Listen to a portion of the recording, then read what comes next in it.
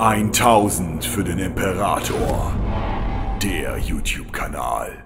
In Kooperation mit PK Pro und Games Island. Hallo und herzlich willkommen zu 1000 für den Imperator. Mein Name ist Gregor und wir haben heute de facto ein Let's Talk gebaut, aber nicht mit Stefan, nicht mit Anna, nicht mit Jörg, nicht mit Karl, Kevin oder jemand anders aus dem Team, sondern ich habe externe Gäste und ich bin nicht mal bei mir zu Hause. Hallo äh, René, hallo Gini. Hi! Hey Gregor, ja, danke schön, dass wir da sein dürfen, bei, bei euch zu Gast auf dem Kanal. Genau, bei uns auf dem Kanal, aber bei euch im Studio. Ja, stimmt. Also, Ideale Kanalkooperation. das stimmt eigentlich. Ne? ähm, beides genutzt. Ähm, ich bin ja eigentlich wegen eurem Kanalgeburtstag ähm, jetzt übers Wochenende bei euch. Wir haben mal das, das Quiz auch zusammen aufgenommen und beziehungsweise live gestreamt. Und wollten die Gelegenheit nutzen, irgendwie endlich mal auch zusammen mehr was zu machen, irgendwie gemeinsam Videos zu machen. Aufgrund der Entfernung ist es ja sonst immer so ein bisschen schwierig. Das ist gerade bei Tabletop, finde ich, immer so ein Thema. Irgendwie- Analoges Hobby und, und du bist aber weit auseinander. ja, danke, genau das. Das ist, das ist so ein Problem einfach. Ne? Genau. Und der Tabletop-Simulator ist zwar toll, aber der funktioniert halt ja für ganz viele Spiele nicht so richtig gut und es fehlt dann doch was. Da fehlt der Flair. Also für mich, ich, ich, bin, ich bin da einfach Tabletop-Simulator. Jeder, der es mag, der es spielt, cool, aber für mich ist es Für bestimmte Spiele funktioniert der für mich. Also für Infinity funktioniert der für mich super. Mhm. Äh, für die ganzen Games Workshop-Systeme ist der nicht geeignet. Die sehe ich ähnlich, auf jeden Fall. Aber Tabletop Simulator soll ja halt heute gar nicht bei uns Thema sein, Genau. sondern äh, es soll heute tatsächlich um Games Workshop gehen. Und zwar nicht irgendwie Kritikvideo, so Games Workshop ist doof, weil das sind sie nicht, sondern eher Games Workshop hat so viele Spielsysteme. Also neben den Hauptsystemen haben sie ja mittlerweile eine ganze Menge Nebensysteme. Und es soll ja eher darum gehen, was? Also macht mehr Spaß, ist immer subjektiv, aber ist es vielleicht sinnvoller, sich eher auf die Nebensysteme zu konzentrieren oder eher zu gucken, was bieten die einem, statt so die, die, die, die Hauptprodukte 40k bzw. Age of Sigma als aktives Spielhobby zu betreiben? Ah, also ich glaube, da kann ich direkt mal. Also das Ding ist halt, da muss man immer ein bisschen schauen, aus welcher Perspektive man da äh, redet, weil ich mache das Hobby jetzt schon relativ lange und ich finde, äh, die Nebensysteme sind immer so eine gute Sache, um mal so, so, so einen Durchatmer zu haben. Ne? Irgendwie mal zu sagen, okay, man ist jetzt irgendwie die ganze Zeit in diesem 40k oder in dem AOS-Trott oder sowas, ist man so drin und äh, ich will jetzt mal irgendwie was Neues, was aber jetzt nicht direkt ein neues System ist, sondern was irgendwie noch so in diesem ganzen Warhammer-Kosmos spielt. Und ähm, deswegen, also es sind für mich die Nebensysteme schon sehr relevant aber halt namentlich genau das, halt einfach Nebensysteme, weil, ja, die sind von der, also ich sag mal so, gut, Necromunda ist sehr komplex, ne, und es gibt Leute, die spielen auch nur Blood Bowl und so, aber für mich ist es irgendwie immer so, vielleicht auch wegen der Vermarktung, dass ich da immer so das Gefühl habe, es ist nur ein Nebensystem. Ja, also ich glaube, das ist tatsächlich noch so ein Überbleibsel aus der Zeit und offiziell nennt Games Workshop diese Nebensysteme ja immer ihre Specialist Games, diese Ja. Spezialsysteme. Ähm, das spielt in die Vermarktung natürlich massiv mit rein. Ähm, sie haben für mich immer den Vorteil, dass sie die Hauptsysteme von der Spielwelt aufgreifen. Das bedeutet, wenn man in die Nebensysteme geht, spielt man trotzdem in derselben Welt wie, wie, die Hauptsysteme, die man kennt. Aber die Einstiegshürde ist tatsächlich in meinen Augen für die Nebensysteme viel, viel niedriger. Ja, Das Sie sind eigentlich viel, viel einsteigerfreundlicher, weil du A, viel kleinere Armeen brauchst, weil Necromunda, Warcry, es reicht halt eine Box mit zehn Modellen, du kannst spielen. Oder kaufst dir halt zu zweit irgendwie die Startbox, hast noch Gelände drin, ole ole, bist fertig, brauchst auf ein halbes Jahr hin. Nichts anderes, keine zusätzlichen Bücher. Und also ja, auch wenn Necromunda mittlerweile recht komplex geworden ist durch die ganzen Gangbücher, die Anzahl an Schichten, an Regelschichten, ist trotzdem deutlich geringer als bei den Hauptsystemen. Gerade auch, weil viel weniger Publikationen dazu erscheinen. Oh krass, das hätte ich jetzt bei Necromunda nicht gedacht, dass das so ist. Also weil ich habe nämlich so ein bisschen so das Gefühl, dass so bei den, ne also bei den oder ich sage jetzt lieber Specialist Games, weil Ja. Nebensysteme. So Nebensystem ist trotzdem nicht falsch. Genau, aber fühlt sich so abwertend an, weil ich kenne ganz viele Leute, die, die spielen nur Blood Bowl Mhm. oder sowas, ne, und dann irgendwie zu sagen, ha, du spielst nur ein Nebensystem in meinen Augen, ist irgendwie ein bisschen komisch. Ähm, nee, aber ich finde, äh, dass, dass die äh, bei den Specialist Games dann oft hingehen, oder zumindest so, es ist zwar an, äh, anfängerfreundlich, Mhm. aber dann kommen da irgendwie immer so, so sehr viele so halt auch spezielle Regeln drauf. Also, und dann weiß ich manchmal nicht so ganz genau 100%, wo ich dann jetzt doch anfangen soll. Ich finde, ein bestes Beispiel ist dann Necromunda. Weil äh, klar, es gibt auf jeden Fall diese High-4-Box. Genau. Aber irgendwie, also ich, ich kann es jetzt nur, ne, ich, ich habe zwar Necromunda schon hier, weil wir das irgendwann mal auf dem Kanal machen wollen, aber bis dahin keine Ahnung, das bleibt jetzt erstmal noch verpackt. Ne? Aber so wie ich das zumindest beim Kaufen verstanden habe, gibt es die High War Box Ja. und da ist, sind zwar die Regeln drin, Genau. aber es sind quasi die Hive War Regeln, oder nee, nicht die Hive War Regeln, sondern diese, nicht die ganzen Regeln irgendwie. Ne? Ich weiß, was du meinst. Also praktisch in, in den äh, zwei Spieler-Startboxen, die sie haben, sind jeweils die Regeln drin, dass du ganz normal losspielen kannst. Also es ist das komplette Regelsystem drin, aber die Kampagnenmechaniken sind nicht mit drin. Das ist es. Das ist okay. der, der Punkt. Das bedeutet, sie haben halt ganz klar gesagt, diese zwei Spielerboxen, die sind für Leute, die sich das kaufen wollen und die wie bei 40k sagen, ich will halt einfach mal ein Spiel machen, ohne so eine längerfristige Kampagne zu spielen. Und wenn du dann sagst, naja, ich möchte eigentlich das, was Necromunda in meinen Augen spannend macht, dieses narrative, längerfristige mit einer Kampagne verknüpfen, dann musst du dir halt de facto irgendwann zusätzliches Buchmaterial kaufen. Auch nicht so viel, wie es jetzt zum Beispiel bei 40k notwendig ist. Aber dann brauchst du ein Zusatzprodukt, um das machen zu können. Aber das, was an Regeln in der Hive War Box äh, und äh, auch in den vorherigen Startboxen drin war, das reicht tatsächlich, damit du komplett Necromunda mit dem vollen Regelset spielen kannst. Weil alles andere, was drin ist, ist sozusagen die zusätzliche Ebene Kampagne. Selbst die gangspezifischen Regeln, die in diesen Gangbüchern drin sind, sind eigentlich nur relevant, wenn du das Kampagnenspiel machen willst.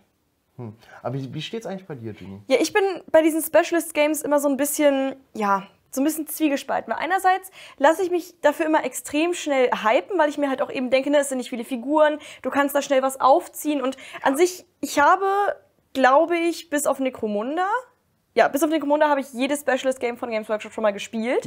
Und jedes hat mir tatsächlich super viel Spaß gemacht. Das Einzige, was mich wirklich eigentlich immer ärgert bei diesen Systemen, ist, dass mich, ich habe Angst, sie anzufangen. Weil entweder bringt Games Workshop wirklich super unregelmäßig dann Sachen dafür raus, wie jetzt zum Beispiel Titanicus. Oh ja. Wir haben Titanicus angefangen, wir haben uns direkt super viele von den, von den Knights gekauft und waren so, oh, mega. Und dann kam jetzt gefühlt irgendwie eineinhalb Jahre nichts raus. Jetzt kam mal endlich wieder Das was. immer so, so Tröpfchen. Ne? Ja, aber jetzt war der Hype halt dann auch irgendwie schon wieder abgeklungen, weil jetzt war so, jetzt hat das irgendwie zwei Jahre in der Kiste gestanden und oh, jetzt kommt mal wieder was, aber ja, wenn ich mir das jetzt hole, wann kommt dann wieder was? Oder auch Warcry, als damals Warcry rauskam, habe ich mir die Starterbox geholt, habe das zwei, dreimal gespielt, war so, oh, das ist eigentlich richtig cool.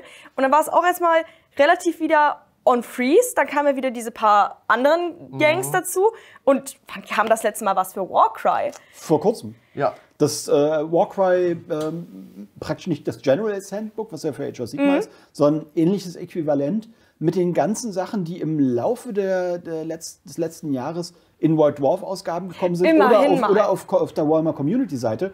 Die Sachen fassen sie alle einmal im Jahr in praktisch diesem Extrabuch zusammen, wo du sagst, okay, ich muss mir halt nicht alle White Dwarfs kaufen, ich muss die Artikel auf Warhammer Community gespeichert haben. Das ist nämlich die zweite Sache, die mich bei diesem Specialist Game immer tierisch aufregt, ist, dass es ist gut, dass sie jetzt so langsam anfangen, das mal irgendwie so in Companion zusammenzuführen. Aber auch gerade als wir angefangen haben, jetzt so Necromunda zu spielen oder Aeronautica, Boah, ja. wenn du nicht von Anfang an dabei warst Hast du verloren. und Ja. die Karten gesammelt hast, die direkt immer rausgekommen sind, weil die sie die einfach werden. nicht mehr verkaufen, kannst du das nicht spielen. Und das verstehe ich nicht. Games Workshop, wenn ihr ein Spiel rausbringt, wo ihr sagt, hey, das ist jetzt ein offizielles Specialist Games und nicht wie früher diese Boxed Games, wie zum Beispiel Lost die Patrol. geschlossen genau, sind. Lost die Patrol. einfach nur als Brettspiele rauskamen, damit du zu einem günstigeren Preis Miniaturen verkaufen kannst. Ich erinnere mich da immer ganz gerne an diese Gangs of Comorok Box mit den, Ja, ja. mit den Elder und Dark Elder Bikes, die quasi 45 Euro gekostet hat Mhm. und du irgendwie, keine Ahnung, 80% gespart hast. ja die, war, das- die war komplett krank. so, oder diese Fliegerboxen, wo du immer zwei große Flieger drin hattest. Das waren Genau. halt, auch das die, waren ja keine die Specialist Box mit den Games. zwei Knights drin, wo du einfach Ja, nur zwei Knights genau. aufeinander gehetzt Ja. hast. So, ich bin froh, dass sie davon halt auch so ein bisschen weggehen und halt sagen, ja, wir bringen jetzt nicht einfach nur unnötige Brettspiele raus, sondern wir machen wirklich wieder Specialist Games. Ich glaube, das hat jetzt richtig angefangen erst wieder mit Blood Bowl. Richtig? Das war ja, ich glaube, 2016 oder 17 kam das raus. Und erst dann haben sie überhaupt angefangen, wie das, die Echt? Specialist Games wieder. Ja, Blood Bowl war das erste, was die überhaupt wiederbelebt haben. Und dann angefangen haben, ja, war ja cool, dann, ne, dann kam Necromunda, dann kam dann ja wieder Titanicus, irgendwann können wir wahrscheinlich auch noch mit Epic rechnen. Oh, dann haben die aber in den vier Jahren wirklich viel rausgebracht. Ja, Ja. also das, also das, das Nebensystem, was tatsächlich gefühlt am besten supportet wird, ist tatsächlich Necromunda. Ja. Weil da kommt einmal im Quartal kommt ein neues Produkt. Ja. In meisten Fällen, in den letzten zwei Jahren waren das jeweils die Gangbücher, Mhm. ähm, die halt tatsächlich viel zusätzlichen Inhalt geliefert haben. Ich meine, ich habe, weil ich als Jungspund damit angefangen habe, ich- die erste Edition Necromunda, da gab es halt genau zwei Bücher. Das aus der Grundbox und das aus der Outlaw-Erweiterung. Das war's. Mehr Fluff hast du nicht bekommen. Den Rest musstest du dir so ein bisschen aus den Fingern saugen. Es gab ein paar Romane, das war's. Jetzt haben sie es tatsächlich so, sie haben dieses Grundbuch, sie haben damals die Dark Uprising Box, wo du praktisch diese kannibalen Kornkultisten gekriegt hast als Gang, die ein eigenes dickes Buch gekriegt haben. Die Gangs haben alle eigene Bücher, in, wo in jedem der Bücher 40 bis 50 Seiten nur Hintergrund drin ist. Das bedeutet, sie erweitern diese Spielwelt auf eine kluge Art und Weise. Es macht Spaß, irgendwie sich einzulesen. Ist ja praktisch wie ein Kodex dann, ne? De Ja. facto ja, Ne? genau. Und äh, du merkst, dass sie bei den Spezialsystemen gefühlt sind sie experimentierfreudiger. So pro, pro, probieren A, Regelmechanismen aus ähm, und B, sie probieren auch Sachen im Lore aus, die im großen 40k-Kontext nicht funktionieren würden, weil sie eine zu starke Veränderung beinhalten und so, so abwertend das klingt. Der übliche 40k-Fan ist gegen Veränderung. Stagnation ist das, was er will. Ja, Ja, das, Das ist auch stimmt. Thema des Imperiums Ja, generell. natürlich. Ne? Das, Also Adeptus Mechanicus, bloß nichts Neues. Ja, genau. genau das, Ja. ne? wenn dann nur alte Sachen neu entdecken. Genau. Aber gerade äh, mit den Regelmechanismen, das stimmt halt äh, wirklich. Mhm. Ne? Also gerade, ähm, ich kann jetzt, äh, jetzt da nur so bei Titanicus zum Mhm. Beispiel mitreden, ne? aber die haben abwechselnde Aktivierungen. Ja. Die sind einfach in 2015 angekommen mit dem Spiel. Mhm. Das, das ist unfassbar. Ja, ich hoffe, dass wir das irgendwann auch mal auf die Hauptsysteme machen. Aber es ist ja auch eigentlich, ich sag mal jetzt nicht dumm, halt Spielmechanismen, die das bestehende Spiel ja schon sehr ändern, wie Ja. halt zum Beispiel abwechselnde Spielezüge. Ähm, erstmal zu testen und zu gucken, wie nimmt die Community das Ganze auf. Ich wünsche mir, ich wünsche mir, dass wir den Hauptsystemen möglichst bald in den nächsten Editionen wirklich auch abwechselnde Spielinteraktionen bekommen, weil es ist halt, es ist halt wirklich nicht mehr up to date. Ne? Du hast eigentlich wirklich in fast jedem aktuellen Tabletop-System ähm, abwechselnde Interaktionen, nur nicht bei den Games Workshop-Systemen. Deswegen hoffe ich, dass sie das auch bald machen. Ähm, aber was ich auch auf jeden Fall noch äh, mal reinwerfen will, ist bei, ich glaube ja wirklich jedem Specialist-Game, was mich auch tierisch ärgert, ist diese Verwurschtelung mit Forge World. Stimmt, Dass die ich mich extrem schlimm, ne? gefreut habe, bei Aeronautica endlich Necrons zu bekommen, nur um festzustellen, dass ich sie nur bei Forge World kaufen kann, zu Preisen, die ich Mhm. Die nicht, nicht, die nicht zu die rechtfertigen ich sind. nicht bereit bin zu bezahlen. Ich sehe das ähnlich. Also tatsächlich nehme ich da witzigerweise mittlerweile, zumindest für Necromunda, einen Wandel wahr bei Games Workshop. Also du hast lange Zeit diese äh, Waffenbit-Sets für die, Gen- für die Gangs, die waren halt immer Forge World. Immer Resin, Gussqualität von Forge World, äh, kann man komplett eigene Videos zu machen und sich aufregen. und mittlerweile haben sie die ganzen Waffenerweiterungssets, das ist ja im Endeffekt nur so ein, so ein Blister mit Gussrahmen, gibt es mittlerweile alle in Plastik direkt von äh, Citadel. Ja, und das ist auch richtig so. Also sie haben trotzdem noch ohne Ende, also praktisch alles, was mal irgendwie ein bisschen besondere Modelle sind, für alle Fraktionen sind immer noch Forge World. Ja. Gussqualität immer noch aus der Hölle. ähm, aber so Sachen, wo man sagt, das ergibt keinen Sinn, dass sie das nur bei Forge World macht, sondern ich will meine Gangs umbauen können und ich will halt nicht Resin mit Plastik kombinieren müssen. Ja. Da haben sie an sich anscheinend angefangen umzudenken, was ich gut finde und auch notwendig finde, weil der Anteil an Leuten, die bei Forge World kaufen, klar, der ist in den letzten zwei Jahrzehnten massiv gestiegen. Also seit du halt einfach online bestellen kannst. Ja, mit und es PayPal, halt, ne? Also und es das halt ist auch ja wirklich in der Woche ankommt. Kreditkarte. Genau, die Kreditkarte war, war die größte Hürde. Ja. Also auf jeden Das, Fall. das stimmt auf jeden Ne, Fall. und dann bei Fortschritt bezahlen mit PayPal 14 Tage später. Mm. Ja, und vor allem, es kommt ja auch wirklich eine Woche später. Ne? Ich habe mir Genau. im Januar ein paar Todessachen bestellt und die waren halt schnell da. Ja. So, das, das war halt früher so der unerreichbare Traum. Und ich sag mal, wenn man halt zumindest auch so, wie bei Necromunda, halt nur so ein paar besonderere Modelle dann halt bei Fortschritt hat oder bei Blood Bowl ja auch so die Star-Player. Mhm. Genau. Das ist ja okay, ne, aber das ist halt teilweise wirklich wie bei Necromunda, äh, nicht bei Necromunda, bei Aeronautica, die Fraktion, die ich gerne am liebsten spielen wollen würde, ausschließlich da gibt. Das ist halt, das verhindert halt, dass Leute in ein System einsteigen, Ja. weil die Einstiegshürde automatisch angehoben wird. Ja, weil ich habe damals eigentlich immer zu René gesagt, weil René wollte Aeronautica eigentlich schon zu Release haben und ich habe gesagt, nee, die Startfraktionen gefallen mir nicht. Komm, wenn, wenn Eldar und Necrons rauskommen, dann machen wir das. Ich meine, mittlerweile haben wir schon vorher einfach angefangen, weil die Tau mir eigentlich auch gut gefallen haben. Aber hätte ich das beibehalten und gesagt, nee, ich fange das erst an, wenn, wenn Necrons kommen, und dann wären Necrons jetzt gekommen, ich hätte jetzt nicht angefangen. Richtig. Ja, das stimmt. Aber apropos Anfangen, ne? Ich meine, wir reden ja jetzt über Specialist Games äh, aus der Perspektive von jemandem, der ja fest im, äh, im System drin ist. Ne? Ja. So, aber wenn jetzt jemand neu anfängt, sagen wir einfach mal, ne, wir haben jetzt, äh, wir haben jetzt Jonas. Jonas ist äh, ein Praktikant, der Ende April bei uns anfängt. Genau. Und, äh, der, der die Box gewonnen hat. Genau. Genau. und, äh, und Jonas kommt jetzt, äh, kommt jetzt hier hin und sagt, Leute, ich, also ich, ich brauche ja ein Projekt für mein Praktikum. Ne? So, dann ist ja eigentlich, wäre das naheliegendste zu sagen, äh, mach eher irgendwie ein Specialist-Game. Absolut. Als- die sind mit einer niedrigeren Einstiegshürde versehen. Ja, sie haben andere, äh, Regel, teilweise andere Regelmechanismen als die Hauptsysteme, was aber für jemanden, der erstmal einfach niederschwellig einsteigen will, überhaupt nicht schlimm ist, weil er keine Vergleichsmöglichkeit hat. Auf Und damit Fall. sieht er halt auch nicht so, äh, das funktioniert ja völlig anders und nee, der kennt nur das. Was an der Stelle auch tatsächlich in Ordnung so ist. Und die Grundinvestition, gerade wenn jetzt so in Anführungsstrichen Jüngere ins Hobby einsteigen wollen, die halt nicht sagen können, ja, um spielen zu können, muss ich erstmal 300 Euro investieren, um meine Fraktion ansatzweise auf den Tisch stellen, zu, sinnvoll auf den Tisch stellen zu können. Plus, ich brauche irgendwie vier verschiedene Bücher, weil irgendwie die Profile mit drei, vier Kampagnenbänden verändert worden sind. Tyranniden. Tyranniden. Ja. Das ist. Äh, Da muss ich aber sagen, dass eigentlich die Realität relativ anders aussieht. Weil eigentlich sehen diese Specialist Games super attraktiv für Anfänger aus und für Einsteiger besonders. Weil, ne, gerade auch so eine, so eine hier Warhammer Underworlds Box kostet, ich glaube, 55 oder 60 Euro und du kannst direkt mit zwei Leuten spielen, du hast Genau. alle Regeln drin, alles wunderbar. Ähm, aber wir haben ja selber knapp drei Jahre bei Games Workshop gearbeitet.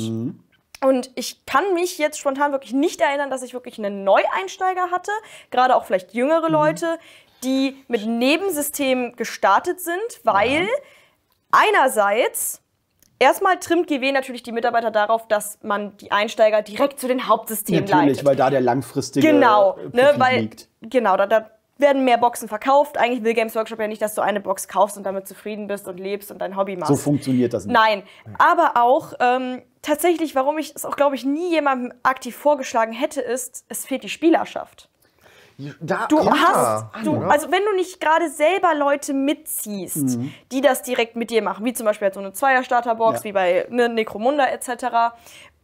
Ich meine, inzwischen ist das Ganze ein bisschen verbreiteter. Gerade auch hier in Köln haben wir diverse Ta- Tabletop-Läden, wo man auch für die Specialist Games durchaus äh, Leute findet. Aber wenn ich da gerade so an unsere Games Workshop-Zeit zurückdenke, wären da vielleicht ein, zwei Leute gewesen pro Specialist Game, wo ich sagen könnte, ja, die könnten das mit dir spielen, wenn die dann natürlich zufällig genau dann da sind, wenn du auch kannst. Für die Hauptsysteme hast du viel mehr Mitspieler. Und wenn du gerade alleine in das Hobby einsteigen willst, dann findest du mit einem Specialist Game sehr wahrscheinlich weniger Mitspieler als halt mit einem der Hauptsysteme. Bei den meisten Sachen gebe ich dir recht, ich, wo ich tatsächlich nicht zustimme, weil das einfach ein gutes Beispiel ist für jemand ist im Hauptsystem drin, der zuckt halt mit den Schultern, holt sich eine Box dafür, ist tatsächlich Underworlds. Weil das halt so niederschwellig ist. Du hast eine Box, da sind alle Figuren drin, es sind auch noch individuelle Sculpts, die halt auch in den Hauptsystemen gar nicht auftauchen als Sculpts. Die gibt es ja nur in diesen, diesen Ja. Banden. Ja. Und wo dann jemand sagt, ja gut, äh, der Neueinsteiger hat sich diese praktisch zwei Spieler Starterbox gekauft mit irgendwie äh, einer Bande, die er spielen will. Ich kaufe mir halt irgendeine Bande, die mir visuell gefällt und ich kann einfach mit dem spielen, Ja. ohne eine Zusatzinvestition in einer Größenordnung zu machen, die mir Geld wegnimmt vom Hauptsystem. Weil irgendwie so eine, so eine Bande kostet irgendwie, ich glaube, 35 Euro oder was? Ich, ich oder sogar weniger. Also das ist auf jeden Fall, das ist so ein, das ist so ein, äh, ich sag jetzt mal, so ein Snack. genau. Ja, das stimmt. Der Hobby-Snack. Ja. Genau. Ja. Also das, das ist tatsächlich dann das äh, System, wo ich sage, da findet man vermutlich noch relativ schnell auch einen von den alten Hasen, der dann sagt, ah ja, warum eigentlich nicht? Steht im Laden, guckt sich an, welche Banden es gibt, sagt so, ja, ja, komm, die nehme ich jetzt, ich packe sie hier aus, Snapfit, ich stecke die zusammen und wir können sofort spielen, Ja. weil ich nichts kleben muss, ich muss mich nicht durch ein dickes Regelbuch wälzen, ich habe den ganzen Kram als Kartenmechaniken, ich habe das Spielbrett fertig auf dem Tisch. Wir können sofort, also wir können in 20 Minuten spielen. Aber das hatte auch wieder dann so dieses Gefühl von Nebensystem, oder nicht? Natürlich. Also, weil, ne, weil ich, ich wollte das Wort nicht in den Mund nehmen, aber dann fühlt sich das doch wieder so an. Wenn es nur so, wenn es quasi so, so snackig ist und dann stelle ich das auf und dann spielen wir so ein bisschen und dann haben wir beide unsere vier Figuren oder sowas, ne? So, dass da, also, ich weiß auch nicht, irgendwie erfüllt das für mich nicht so diese, diese, dieses Gefühl von Tabletop. So richtig. Ich glaube, also ich glaub, die Wahrnehmung unterscheidet sich zwischen uns beiden an einer sehr, sehr simplen Sache. Für euch sind, soweit ich euch wahrnehme, auch bei euch mit dem Kanal, sind die Hauptsysteme halt auch das, was ihr hauptsächlich spielt. Jemand wie ich, der die Hauptsysteme, also ja, Age of Sigmar spiele ich mittlerweile, 40k spiele ich mittlerweile gar nicht mehr.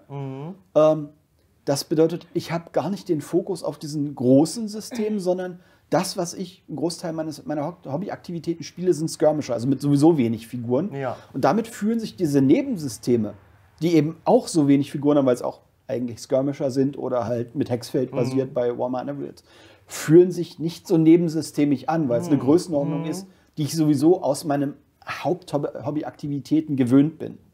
Und ich glaube, da kommt dann die Wahrnehmung her, dass das eine nur so ein Snack nebenher ist und das andere das Richtige. Das, ja. Also ich sag mal, da kann man ja auch noch mal sehr zwischen Specialist Games unterscheiden, ne? weil ich finde zum Beispiel so Warhammer Underworld fühlt sich für mich halt persönlich sehr viel nebensystemiger an, Ja. weil es halt natürlich auch sehr viel kleiner und unflexibler ist. Wenn du jetzt natürlich dir so Necromunda oder auch Kill Team anguckst, Das ist schon, da spielst ne? du natürlich trotzdem auf viel größeren Flächen, du bist jetzt viel, viel flexibler, du, du musst richtig deine Liste bauen, du Mhm. kannst super viel in den Waffenoptionen machen, du kannst Szenarien spielen. Und im Endeffekt ist es ja bei Underworlds immer nur, du hast dieses kleine Feld, du hast immer deine feste Band, wenn du die Band spielst, dann hast du auch immer genau diese Figuren.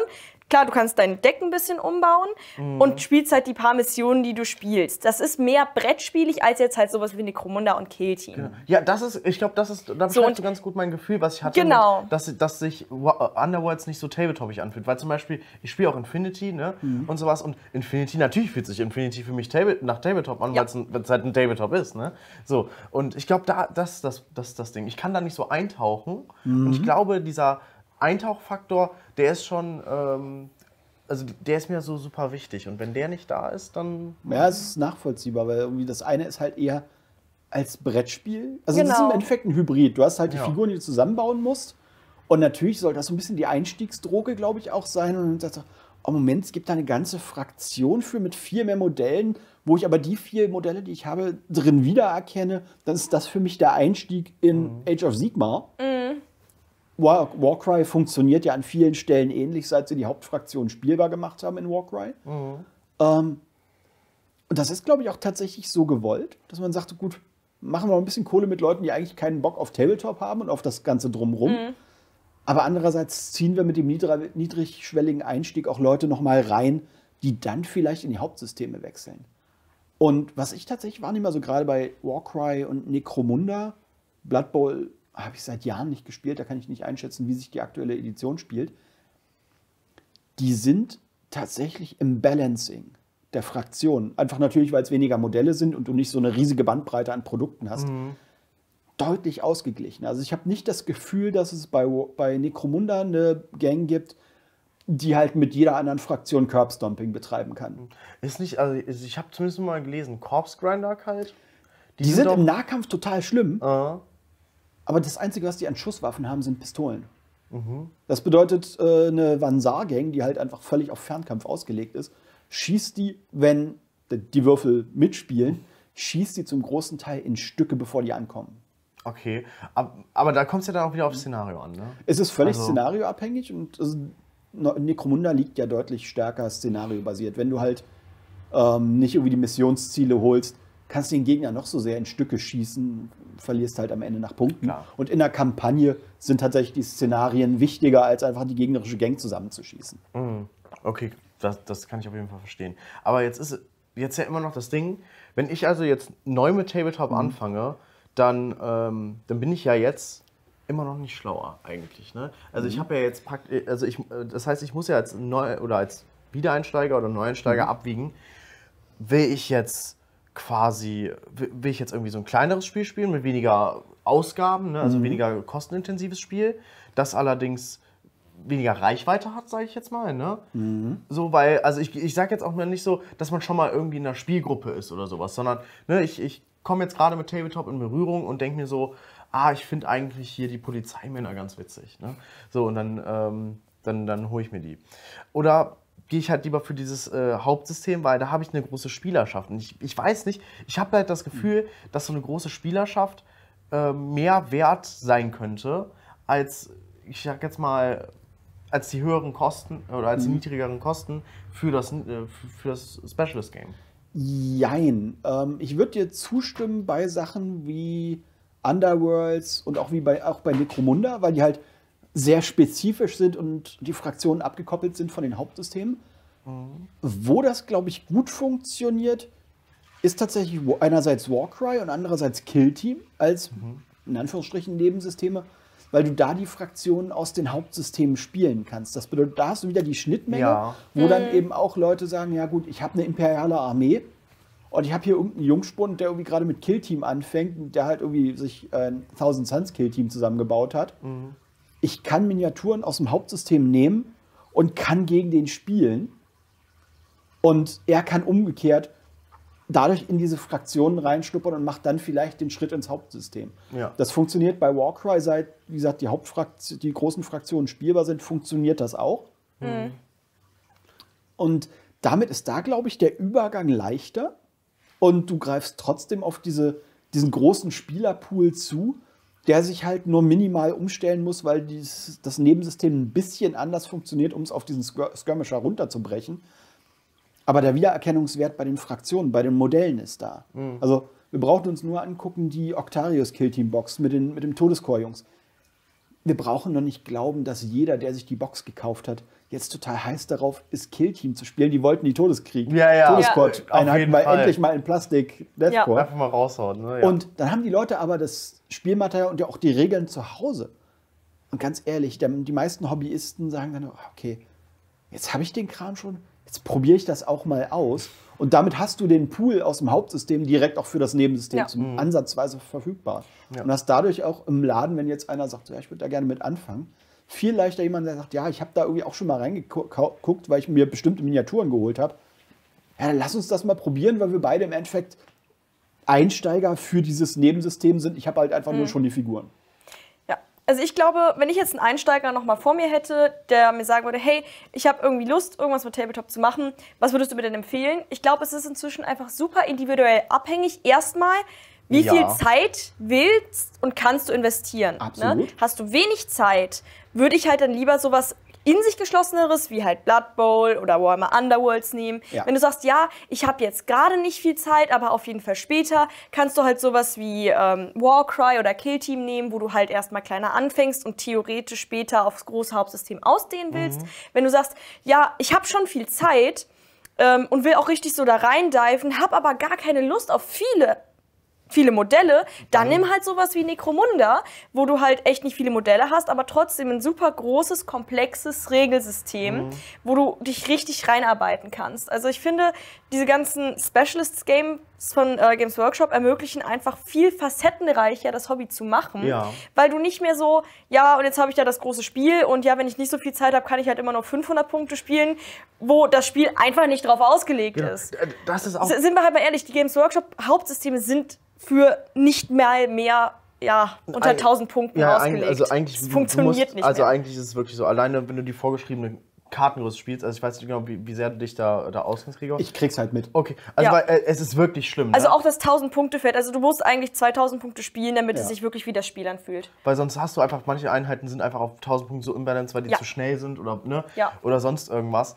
Und äh, ich muss jetzt, äh, muss ich jetzt mal wirklich ganz ehrlich sagen, ne? wenn ich jetzt zum Beispiel, äh, also Kashi ist ja jetzt bei uns auch auf dem Kanal so ab und zu mal als Gast da, die macht so mal so ein bisschen Infinity, die ist jetzt aber noch, hat noch nicht so 100% diesen Sprung gewagt. Ne? Aber ich würde niemals, oder ich würde generell wahrscheinlich aus meinem näheren Umfeld niemals jemanden empfehlen, dann fang doch mit Warhammer an. Nee. Also mit Warhammer 40.000. Also ich, ich spiele selber, es ist, es ist quasi der, der, der Hauptpunkt unseres Kanals. Ne? Aber Es ist nicht einsteigerfreundlich, nicht im Ansatz. genau das, ne? Es ist, es ist null einsteigerfreundlich und ähm, was noch viel schlimmer ist als einsteigerfreundlich oder nicht, ne? Es ist, ähm, sehr schnell sehr frustrierend. Oh ja. So, und äh, das ist das, das ist, glaube ich, eher das äh, Mhm. Problem, weshalb, ähm, äh, wo die Stärke bei den Specialist Games liegt. Weil ähm, dadurch, dass die, Prakt dass die entweder komplett auf äh, Spaß ausgelegt sind, also ne, Blood Bowl und äh, ne, alles immer, es, es ist so, ähm, so whimsy. Ne? Bier und Brezel. Genau, Statt, ne, Bier und Brezel statt kompetitiv. Genau, so, Ja. kom so äh, komplett und das ist auch alles immer so übertrieben und so witzig beschrieben und sowas. Ne? Selbst auch, selbst wenn die, die also der Corpse Grinder Kalt in Necromunda, ich meine, der ist auch sehr grimdark, ne? aber ander, äh, irgendwo haben die ja auch wieder diesen typischen, die, dieses verrückte Warhammer 40.000 Ding, wo du dir einfach, wo du auch so ein bisschen schmunzeln musst. Ne? Ja. So, und ähm, ja, also das heißt, wenn da irgendwas passiert, dann ist das irgendwie noch, dann ist das irgendwie witzig. Aber wenn du einfach dann deine ersten 500 Punkte zusammen hast, du hast deine ersten 250 Euro dafür ausgegeben und dann spielst du äh, halt eine Runde 40.000 und ja, also ich kann mir jetzt, ich kann mir wirklich nicht vorstellen, dass daraus eine Erfahrung geht, wo ich sage, ey, da, boah, Tabletop ist die beste Sache der Welt. Ja, vor allem, in, in welchem Hobby machst du das denn auch? Das ist ja auch, ähm, eigentlich, so, eigentlich ist es total hirnrissig zu sagen, ja, wenn du das dann starten willst, musst du erstmal so viel Geld und Zeit investieren und hast sehr wahrscheinlich eine frustrierende Erfahrung. Sagen wir jetzt einfach mal, ich will anfangen, Tennis zu spielen. Dann gehe ich doch auch erstmal irgendwo hin, leihe mir Equipment oder sowas oder kaufe mir nur einen Schläger oder so und probiere es mal aus und gehe nicht hin und kaufe mir direkt eine Clubmitgliedschaft, komplett Ausrüstung, äh, mit den richtigen Klamotten und alles und gebe quasi das ganze Geld aus, nur um festzustellen, dass ich zwei linke Füße habe und zu dumm in Tennis zu spielen. So, ich taste mich doch auch erstmal ran, bevor ich so viel investiere, um ein Hobby anzufangen. Und das ist ja, nichts anderes. So, Mhm. dann fange ich lieber mit was Kleinerem an, gucke, liegt es mir überhaupt? Macht Mhm. es mir Spaß? Kann ich irgendwie eine Affinität dafür entwickeln? Ja. Vielleicht merkt man ja auch nur durch eine, eine äh, 20 Euro Underworlds-Band, dass ich einfach tierisch Spaß habe, diese Modelle zu bemalen. Und dann mache ich nur. Ne? Und dann male ich nur oder merke, boah, das macht mir so viel Spaß zum Spielen. Ähm, da mache ich mir jetzt zur Lebensaufgabe, jedes Warhammer Underworlds Team zu bemalen und zu sammeln und dann damit zu zocken oder halt auch nicht. Ne? Das muss man halt für sich entdecken. Aber ich glaube, es ist halt auch einfach inzwischen sehr utopisch immer von Games Workshop gedacht mit diesen riesen Starterboxen und hey, du hast noch nie was mit dem Hobby zu tun gehabt. Bitteschön, mach. Ich glaube auch tatsächlich nicht, dass diese Starterboxen sich an Hobby-Einsteiger, also an Tabletop-Hobby-Einsteiger richten. Die richten sich an Leute, die sie längst haben. Ja, also Das, was sich an Einsteiger richtet, ist jetzt, sind jetzt aktuell diese Heftserien, ja. weil Ja. die halt wirklich den niederschwelligen Einstieg bieten. Ja. Und du halt aufgrund dieser, dieser praktisch regelmäßigen, vergleichsweise geringen Kosten, merkst du halt nicht, dass du am Ende trotzdem 800 Euro ausgegeben hast. Das ist einfach ein psychologisches Ding. Ja. Ja, ist Insofern sind die Heftreihen tatsächlich das Produkt, wo ich sage, das ist wirklich auch einsteigerfreundlich in der Art, wie sie es auch didaktisch aufbauen. Die regulären Startboxen, ob das jetzt die Vorherrschaftsbox für Age of Sigma ist, ob das die Indomitus-Box für 40k ist oder auch die verschiedenen großen regulären Einsteigerboxen. Ja, die werden als Einsteigerboxen vermarktet, aber Einstieg in die aktuelle Edition oder in dieses System, nicht Einstieg ins Tabletop.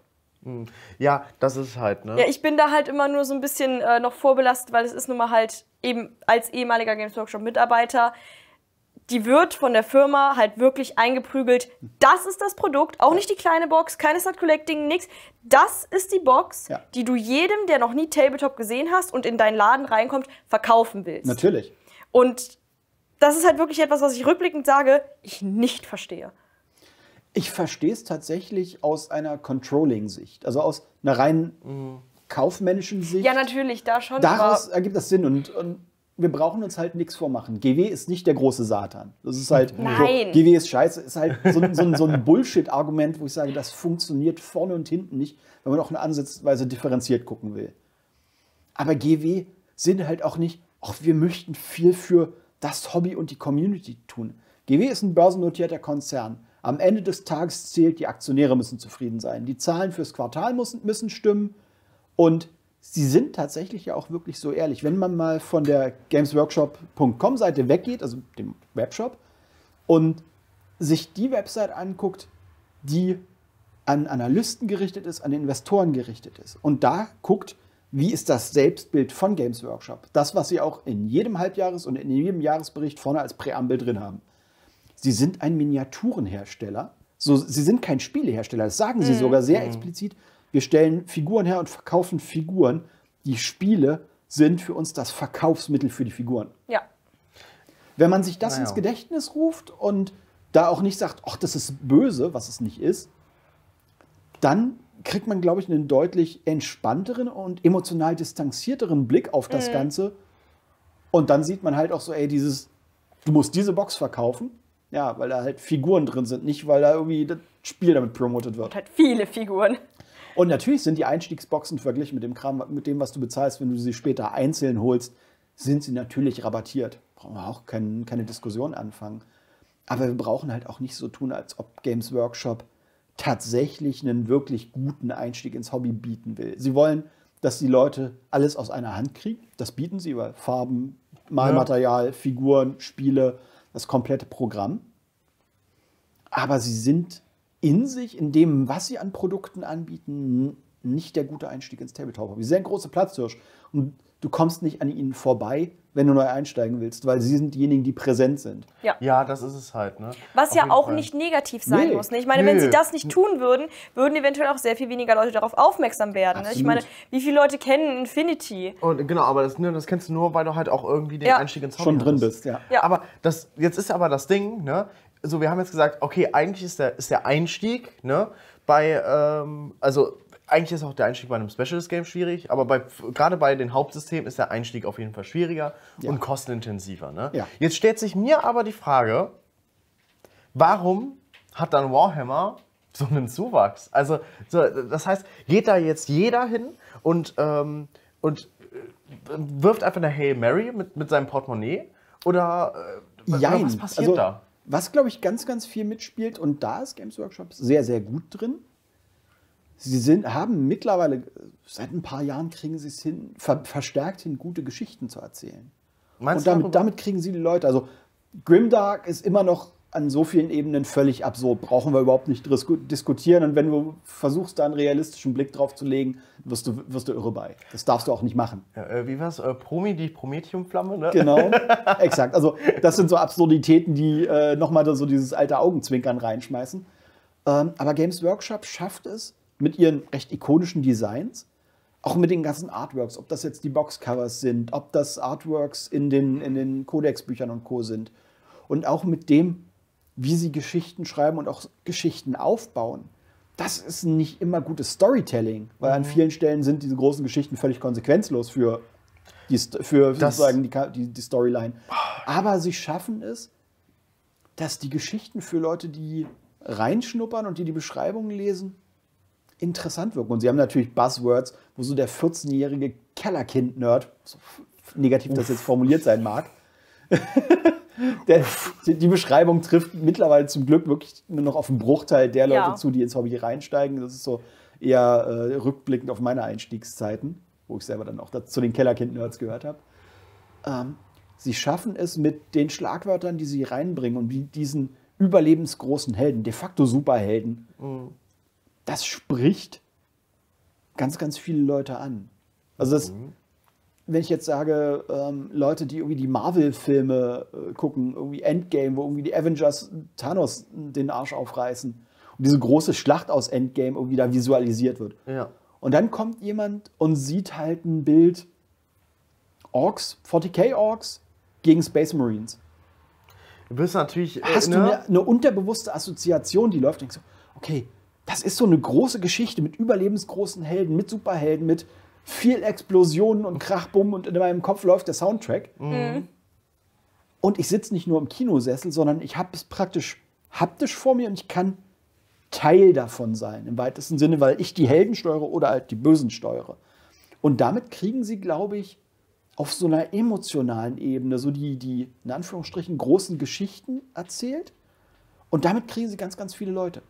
Also- und mittlerweile sind einfach auch mit Leuten wie Dan Abnett und Dembski Bowden, haben sie auch einfach Romanautoren, die nicht nur schon, äh, die im Endeffekt nicht nur Groschenromane produzieren, sondern die wirklich auch Geschichten erzählen, wo du gefesselt bleibst. Die Gauns Ghosts Romane.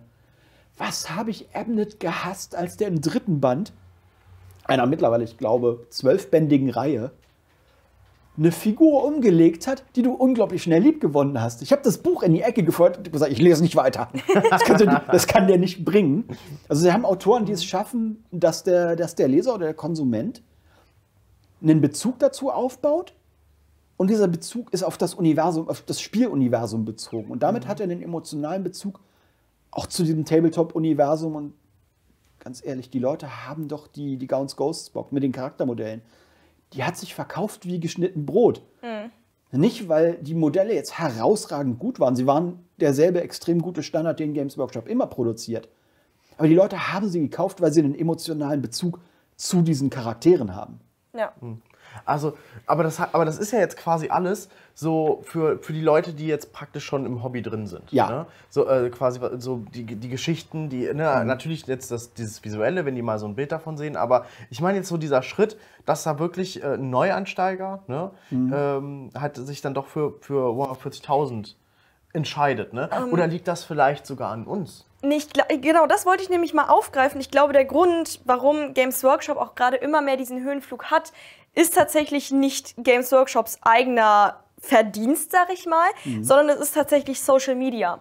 Also ich sag Ja. mal, einen großen Teil wird tatsächlich auch Corona tatsächlich dazu beigetragen haben, Ja, weil ja. alleine aus unserer Community auf dem Discord-Server und wenn Leute neu dazukommen, ich höre in ist gut bei uns nicht 80 anders. Prozent der Fälle, ja, ich habe das früher mal gemacht und ja, wegen Corona hatte ich wieder Zeit. Da habe ich gedacht, kram ich mal wieder aus dem Keller raus.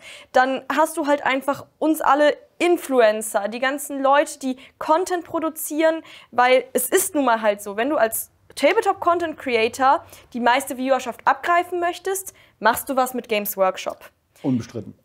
Ist kein Geheimnis. Ja. Was natürlich eine riesige Promotion für Games Workshop ist, wofür sie selber nicht mal was tun müssen, außer großartige Modelle produzieren, weil ich natürlich auch lieber ein zum Beispiel Mal-Tutorial mit einem richtig schön detaillierten Modell mache, als mit halt einem nicht so schön detaillierten, was dann wieder Werbung für Games Workshop ist. Oder auch alleine sowas wie die Geschichte mit Henry Cavill, der Warhammer spielt, der das Ganze Was extrem der, was gepusht der an hat. Leute in dieses Hobby ziehen wird, Es ist, unglaublich. absurd. Und das ist so jetzt witzig, halt ja. erst die Spitze des Eisbergs. Gerade jetzt, wo dieses Nerdtum, dieses Oh, wir sitzen da und bemalen kleine Figürchen, ähm, ein bisschen mehr normal wird, weil halt eben solche Leute wie Henry Cavill das machen und dieses Bild des Kellerkindes, das Mhm. äh, da sitzt und das Hobby macht, weggeht. Eben durch Social Media, durch Leute, die zeigen, hey, ich mache das Da und haben wir dann den, den 14-jährigen Chad, genau, der da rumsitzt. genau, Genau. Der, Fußball, der Fußball spielt und Tabletop macht. Ganz genau. Und auch alleine, dass, ähm, ich sag mal, auch diese ganzen Superhelden-Sachen, hier Marvel, Avengers etc., die haben ja auch schon dazu beigetragen, Genau. dass sowas Nerdigeres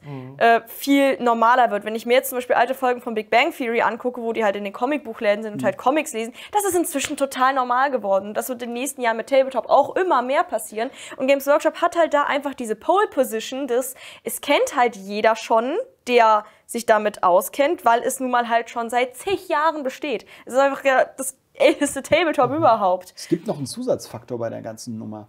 Ähm, das merke ich so ein bisschen an meiner eigenen Generation. Ich gehöre so zu der Generation, ja, die hatten dann irgendwann zu Hause in den 90ern schon einen Computer stehen, haben da Computerspiele gezockt. Aber ich bin halt als Kind klassisch mit Brettspielen aufgewachsen. Also mit einem sehr, sehr analogen Hobby für Kinder und Jugendliche. Meine Generation, wir arbeiten mittlerweile seit so zwei Jahrzehnten, haben teilweise eigene Kinder, haben das, was man im Englischen so schön als Disposable Income bezeichnet, sozusagen verfügbares Einkommen, was nicht zwingend für die Notwendigkeiten draufgeht. Und viele Eltern sagen, ja, ich möchte eigentlich nicht, dass mein Kind den ganzen Tag vor der Konsole hängt, am Handy hängt, vor dem Computer hängt. Und die wachsen aber irgendwann aus den klassischen Kinderbrettspielen raus. Und dann hat Tabletop und da natürlich Games Workshop, weil sie am leichtesten verfügbar sind, den Vorteil, die stellen diese analoge Erfahrung, wo die Eltern dann sagen können, so ja, dann sitzt der Papa halt mit irgendwie der Tochter oder dem Sohn und dann bemalen die zusammen Figuren. Das erle- erlebe ich so ein bisschen in meiner Filterbubble und auch auf Instagram vermehrt, dass teilweise auch Profimaler irgendwie dann ab und zu teilen, dass irgendwie jetzt die Tochter oder der Sohn mit am Maltisch sitzt in seinem Büro und selber irgendwie Figuren bepinselt. Oder hier das ADHS Kreativprojekt, Ja. was es ja gibt. Die halt, der halt Kindern, die mit Tabletop gar nichts zu tun haben und die halt so das Thema Konzentration etc. sowieso als Krankheitsbild weiß nicht, ob man es so bezeichnen kann, dafür kenne ich mich zu wenig aus, dass der da den Ansatz hat, da gibt es etwas, da haben Kinder Spaß dran, weil es ein kreativer Anteil ist, das Malen. Und sie finden einen Weg, sich auf was zu konzentrieren. Also es hat im weitesten Sinne einen therapeutischen Ansatz. Absolut. Ich erlebe das bei den Kindern von, von Freunden von uns, mit denen wir sehr viel Brettspiele spielen, wo auch der Papa ein bisschen Spaß am Bemalen hat und ab und zu mal so ein bisschen pinselt. Ganz ehrlich, wenn ich mir den kleinen Sohn von denen angucke, wenn der dürfte, hätte der ständig Papas Figuren in den Händen. Ja, also wir hatten auch damals im Laden eine Mutter ähm, mit einem Kind, das auch ähm, ADHS hatte und sie meinte auch, es, sie haben alles an Therapien probiert und er konnte sich wirklich nicht fünf Minuten hinsetzen und konzentrieren. Und dann haben sie das Hobby zufällig entdeckt, weil sie in der Innenstadt am Laden vorbeigelaufen sind. Und der Sohn sitzt drei Stunden am Schreibtisch und malt seine Figuren an, konzentriert. Ja. Und es ist einfach eine so tolle Therapie. Aber was du halt auch sagst, ne, viele Eltern sagen halt, ja, bei der ganzen Digitalisierung ist es halt einfach mal schön, ein Hobby zu haben, wo man aber was Handwerkliches und Kreatives hat und auch etwas, wo man rausgehen muss, wieder sich mit Leuten treffen. Es gibt ja auch immer diese lustigen Bilder, ne? früher mussten die Mutter das Kind reinziehen, oh, du kommst jetzt wieder rein und jetzt müssen die Mütter die Kinder rausziehen, mit du gehst jetzt mal draußen spielen. Also, aber dann ist es ja jetzt so, ich versuche jetzt gerade wieder zum eigentlichen Thema die Brücke zu schlagen. Äh, und zwar, das, aber dadurch, dass man praktisch dann einerseits als Influencer halt einfach sehr viel mit, äh, mit den Hauptsystemen macht, weil die halt Ja. auch meint. Also es ist ja im Endeffekt wie, so- wie so, ein, so ein Kreis, so ein Kreislauf. Ne? Du, ähm, du kommst damit eigentlich in Kontakt, weil du zum Beispiel mit äh, deinem Vater malst, ne, weil du irgendwie im Internet auf irgendwelche Videos triffst von irgendwelchen Influencern oder du halt im Store bist und äh, du malst ja dann da kein, ähm, kein Vansar an. Ne, Im Store. Richtig, du malst dann eine Figur der Hauptsysteme, die Genau. kostenlosen Testminis. Genau, Ja. eben. Und, äh, und ich, wahrscheinlich ist es dann einfach so, dass ne, du bist dann halt auch eher zum Hauptsystem hingezogen, weil es gibt den größten Content zu den Hauptsystemen. Ja. Es gibt quasi die größte Spielerschaft und so. Und da ist einfach am meisten los. Es ist Ja. wie, also ich habe so das Gefühl, ähm, das, das fühlt sich so ein bisschen an, als ob du letzten Endes hast du ganz viele verschiedene Burgerläden und die sind alle nebeneinander. Ne? Und äh, jeder, jeder Burger ist eigentlich richtig gut. Ne? Aber äh, dann ist da quasi noch in der Mitte ist aber einfach Mc's. Ne? Und Mc's ist einfach, äh, ist, ist halt, äh, sind die Hauptsysteme. Und je, jeder Arsch geht, geht halt irgendwann mal zu Mc's. Ne? Also kannst du mir sagen, was du willst, aber jeder, jeder äh, ist die letzten Jahre auf jeden Fall mal bei McDonalds gewesen. Hat es vielleicht nicht irgendjemandem erzählt, ne? War so eine, war so eine kleine Guilty Pleasure, ne? Und war so, ja, also, ey, Mc's mache ich nicht, ne, ne, ne, f- f- ne, esse ich nicht. Ja. Also, Ich finde ich find, ich find gerade den, wenn auch von dir nicht beabsichtigten, recht harten Diss in Richtung Games Workshop echt witzig. Ja, das, also es ist so, das ist quasi, ähm, es ist halt sowieso für die, ne, es ist halt praktisch einfach so, so für die breite Masse und es ist halt auch einfach ne, diese, diese Bekanntheit und Ja. sowas. Und natürlich gibt es da den geilen, ähm, den geilen Burger, äh, wo, wo du weißt, boah, das ist 100% äh, Bio, äh, Bio-Rind und boah, die Soßen super lecker und, und mega gut gegrillt und sowas, ne? Aber dann, äh, wenn, wenn du nun mal mit, mit drei Freunden nach dem Trinken unterwegs bist, ne? So, dann landest du trotzdem letzten Endes bei, bei McDonalds und halt nicht irgendwie. Du weißt halt genau, du kriegst das standardisierte Industrieprodukt und du weißt, was du bekommst. Genau. ja, du weißt, genau. dass es schmeckt, äh, zumindest in, deinem, in deiner Trunkenheit. Ne? Ja. Und sind wir mal ehrlich, so schlimm ist es jetzt auch nicht. Genau, genau. Ja. Aber, Ja.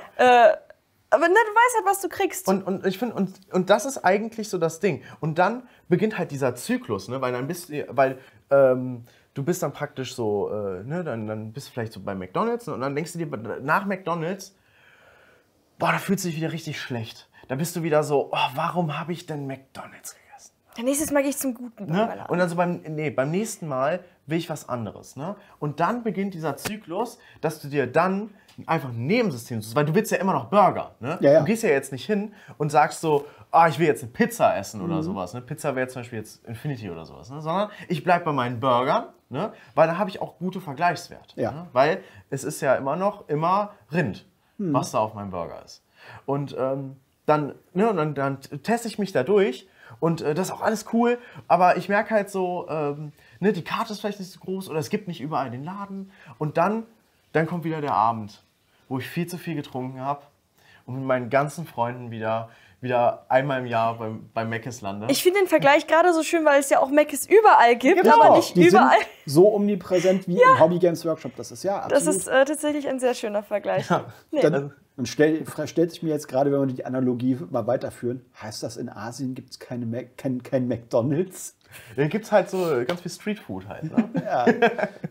Ja, also ähm, ich komme jetzt tatsächlich drauf, das ist so ein bisschen ein Abschweifen. Ich habe mir den, den ich gucke mir die Geschäftsberichte von Games Workshop immer an, wenn sie rauskommen, weil sie tatsächlich eine Menge darüber aussagen, a, wie erfolgreich ist das Unternehmen, b, in welche Richtung entwickeln sie sich auch, also wo liegt der Fokus ähm, und wie, also welche, welche, in Anführungsstrichen, Nebenzweige, was Einkommen angeht, arbeiten sie aus.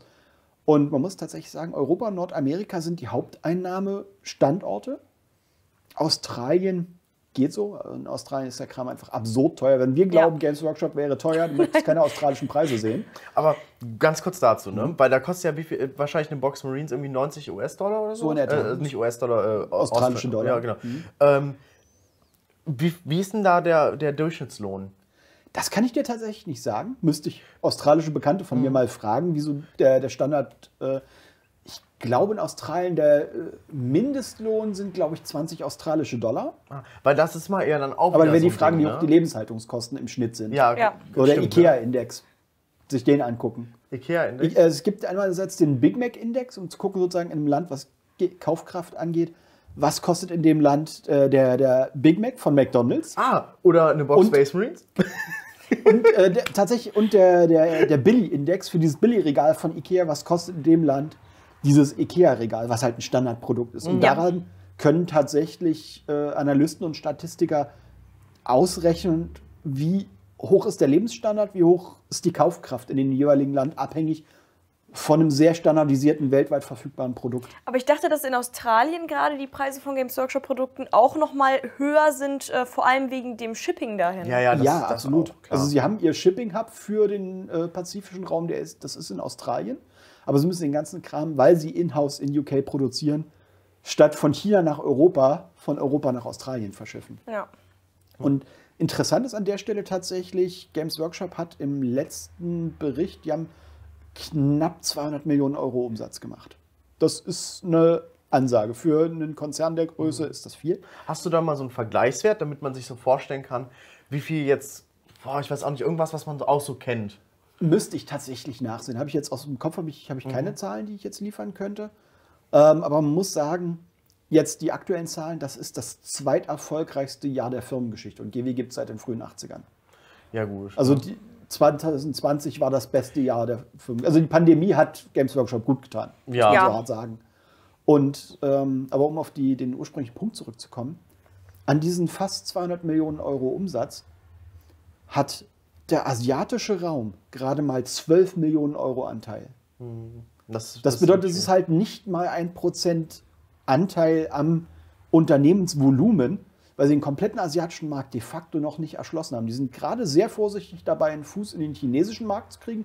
Und China ist einfach immer ein schwieriger Markt, äh, repressives System, westliches Unternehmen. Du musst immer aufpassen, dass die dir nicht einfach sagen, kannst, kannst dich direkt wieder verpissen. Ja, Aber China hat doch auch so Probleme zum Beispiel mit Darstellung von Totenschädeln. Und wenn ich mir jetzt Warhammer-Modelle angucke, gibt es kein Warhammer-Modell mit gefühlt drei Totenschädeln. Richtig. Aber sie, also sie kriegen da den, den Fuß in die Tür über die Videospiele. Ah, Damit sind die Lizenzen bekannt. Die Leute gewöhnen sich so ein Stück weit dran. Es ist ein sehr offensichtlich unglaublich fiktionalisiertes Universum.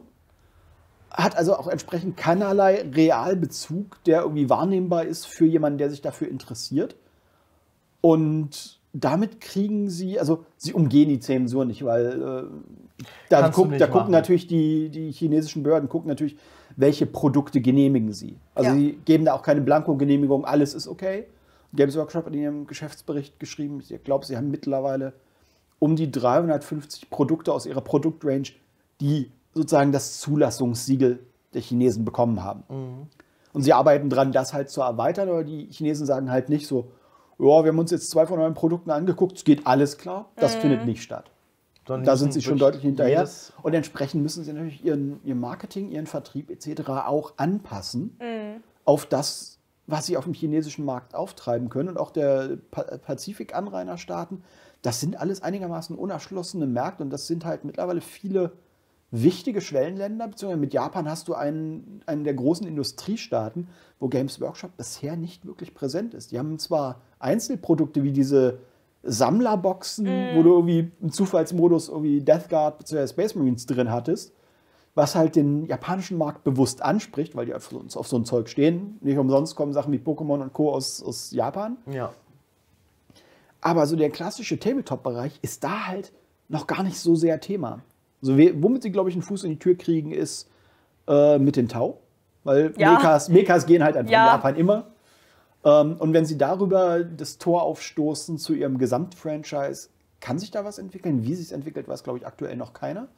Man sieht aber in den Geschäftsberichten, dass die in den Themenbereich richtig investieren. Sie haben zum Beispiel, das hatten sie ursprünglich outgesourced, die Übersetzung ihrer ganzen Regeln etc. Ins Kantonesische haben sie jetzt in-house. Das bedeutet, sie haben Leute eingestellt, die ihre Spiele ins Kantonesische übersetzen für den chinesischen Markt. Das ist auf jeden Fall. Und da ist tatsächlich, ich glaube, da müssen sie tatsächlich gucken, wie einsteigerfreundlich sie das machen, weil sie dann den Markt vollkommen neu aufmachen müssen. Dass sie brauchen sie ein niederschwelliges Angebot, um die Leute reinzuziehen. Wenn sie die Leute Ja. einmal haben, easy peasy. Ja, ja, dann ist das. Ja, dann wir ist, kennen alle den Sog des Hobbys. ja, ja, das auf jeden Fall. Aber wenn es ein, Ma ein Markt, wo Tabletop noch gar nicht relevant ist oder bekannt ist, da brauchen sie ein Produkt, wo die Leute das Gefühl haben, ich komme leicht rein, ich bin damit nicht überfordert. Es ist das Äquivalent zu, ich installiere ein Spiel und spiele los und kriege ein Tutorial und dann kann ich einfach spielen. Aber genau da Das brauchen könnten, sie. da könnten ja die Nebensysteme einschlagen. Also ich Genau. denke jetzt zum Beispiel mal an ähm, ganz typisch japanisch Highschools, Clubaktivitäten. Ja. Es gibt Kunstclubs, es gibt äh, Gaming-Clubs ja teilweise auch inzwischen Mhm. in Oberschulen in Japan. Warum nicht auch Tabletop-Clubs, die dann halt da am Nachmittag sitzen und Warhammer Underworld spielen? Und ich meine, Games Workshop hat ja bereits ein System platziert, also hier in Europa, wo sie ja genau so eine Aktivitäten an Schulen etc. unterstützen. Und wenn sie das auf Warhammer- Asien ausrollen, weil es genau der Mentalität entspricht, Das würde das ist, perfekt dann, passen. das ist der Punkt, wo es funktioniert, wo sie Mhm. den Einstieg hinkriegen, wo die Leute niederschwellig dazukommen und dann hängen sie einmal im Netz der Spinne. Ja. Aber es wird ja eigentlich generell richtig krass, wenn der asiatische Markt wirklich dazukommen sollte.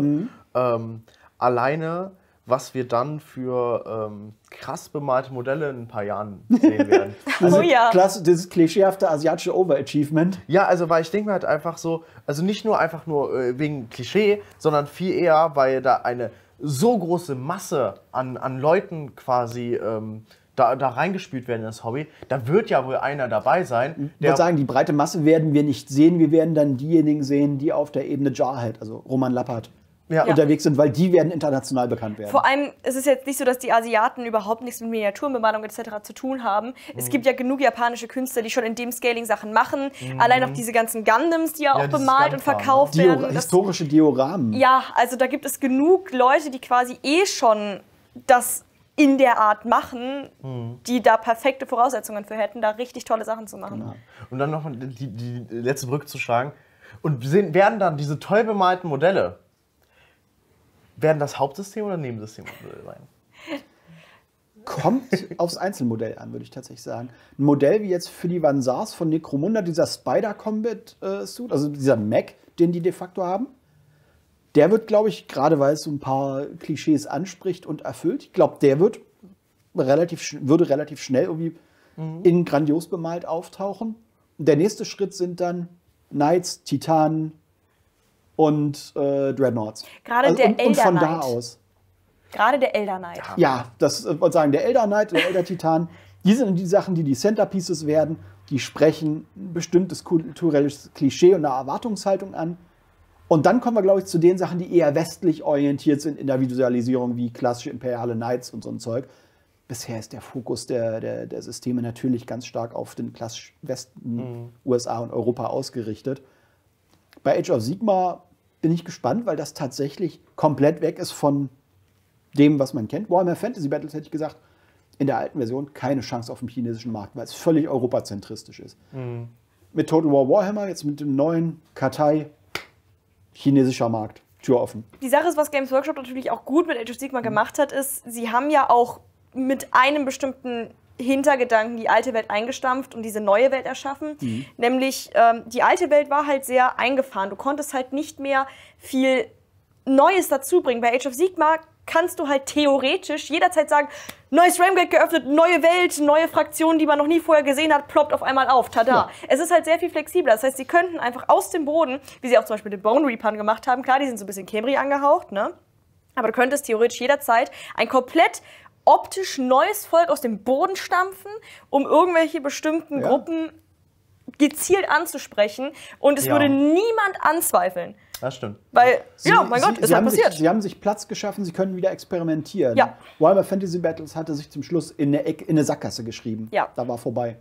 Insofern, ich nehme dir bis heute nicht übel, dass dieses System, was sich nicht mehr verkauft hat, weil alle Spieler hatten mittlerweile vier komplette Armeen, dass sie das irgendwann dicht gemacht haben, ganz ehrlich.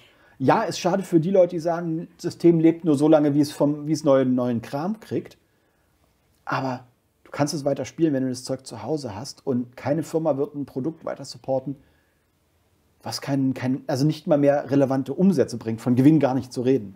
Und wer weiß, was sie mit Old Worlds noch machen. Vielleicht stellen sie damit die alten Leute auch wieder was Ja, zufriedener. damit werden sie eine Menge Leute zurückholen. ja, Ist das dann, ist dann Old World auch ein, äh, ein Specialist-Game? das ich wird gehe ein stark Specialist da- aus. Ich gehe nicht davon aus, dass sie ein drittes Hauptsystem etablieren, weil dann kannibalisieren sie sich selber. Ich wollte gerade sagen, dann entwerten sie ja auch Age of Sigma. Da habe ich jetzt aber wieder Angst, ne, dass wenn man dann das Specialist-Game anfängt, ne, da, wieder zu dem, was du am Anfang gesagt Man hast. kriegt die Karten nicht, man kriegt die Sachen nicht, Genau, man ich muss Forge World. Ganz ehrlich, ich würde mit sowas rechnen. Also, Ja. die Skepsis aus der Erfahrung heraus sagt mir, das Risiko besteht. Äh, ich, also da habe ich wirklich jetzt schon Angst und ich glaube, das ist auch einer der, der, der, der größten Gründe, Ja. weshalb die Hauptsysteme irgendwie weirderweise dann vielleicht doch einsteigerfreundlicher sind. Weil Es du kommt Produkt halt- immer kriegst. Es Ja. kommt halt drauf an, ne? Wie gesagt, du darfst halt auch Specialist Game mit Specialist Game vergleichen. Wie gesagt, riesiger Unterschied allein in Warhammer Underworlds gegenüber Necromunda.